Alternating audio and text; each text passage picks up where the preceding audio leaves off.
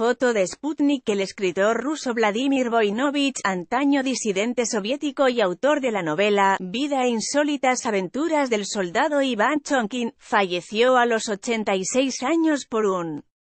Ataque cardíaco, anunciaron el sábado sus familiares, Vladimir Nikolayevich Voinovich ha muerto, indicó a la agencia pública de prensa tras un familiar del escritor, cuyos libros fueron traducidos a varias lenguas.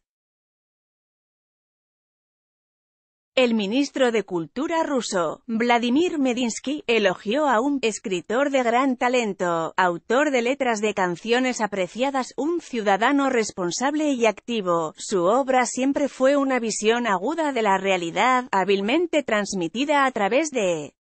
un lenguaje vivo y fascinante, añadió, citado por TASS, y alabando la contribución de Vladimir Voinovich al refuerzo de la libertad de expresión, al desarrollo de los principios de igualdad, comprensión mutua y armonía social en Rusia. Nacido en 1932 en Stalinabad, en el Tayikistán soviético, Vladimir Voinovich, se dio a conocer en un primer momento como autor satírico, con «Vida e insólitas aventuras del soldado Iván Chonkin», una novela publicada en Occidente que circuló de forma clandestina y que muestra los absurdos del totalitarismo. Foto de RFE próximo a otros disidentes de la época, fue excluido de la Unión de Escritores Soviéticos en 1974 y, más tarde, se vio forzado a emigrar a Alemania, después de que le retiraran la nacionalidad.